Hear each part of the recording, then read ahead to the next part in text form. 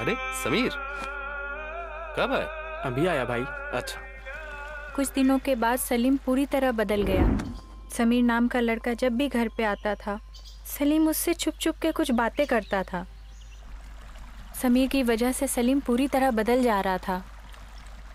सलीम से पूछने से कोई फ़ायदा ही नहीं था क्योंकि कुछ पूछो तो बताता ही नहीं।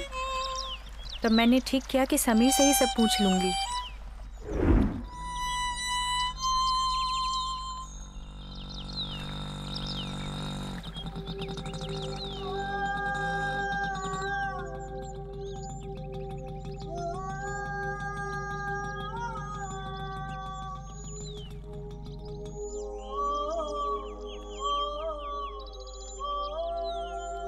एक बात पूछूँ?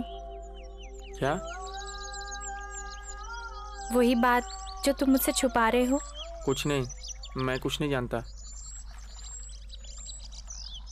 मुझसे क्यों छुपा रहे हो तुम? मैंने क्या किया है? मुझे तुम कुछ बताते क्यों नहीं? मुझे सलीम की चिंता हो रही है।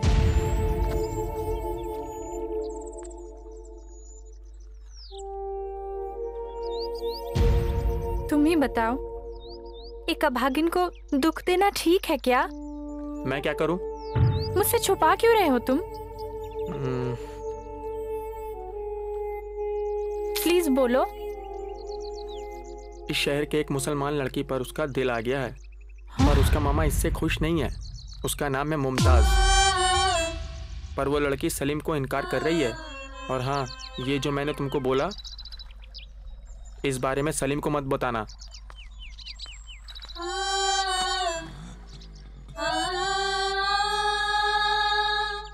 एक ऐसे चक्रव्यूह में फंसा दिया, जहाँ से निकलने का कोई रास्ता नहीं।